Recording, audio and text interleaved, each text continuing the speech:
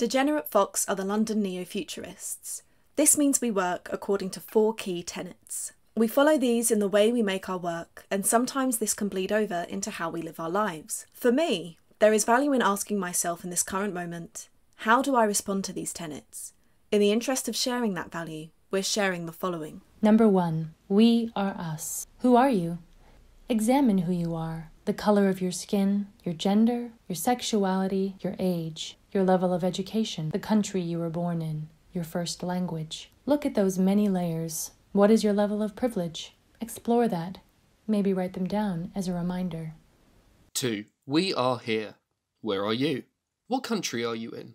What city? What neighbourhood? What is your country's government doing to address race inequality? What are your city or county doing to take action? What about your borough or local authority? What is your MP's voting record? What publicly funded programmes exist for black people and people of colour where you live? 3. The time is now. What is happening?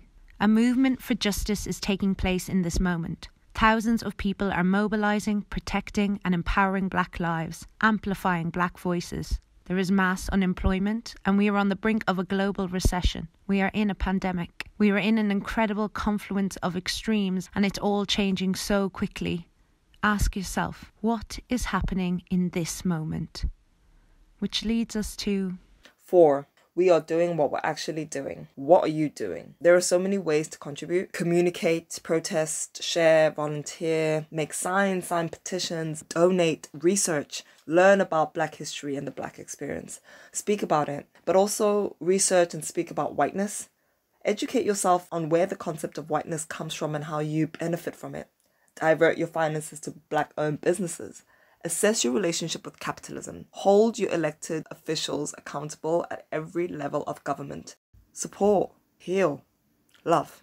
We're not experts on this. We're offering it as a possible structure to help you ground yourself to better use your time and energy to fight for justice, now and in the future. Revisit these four tenets from now on. They might focus you. The answers will likely change.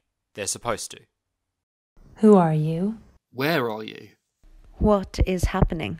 What are you doing?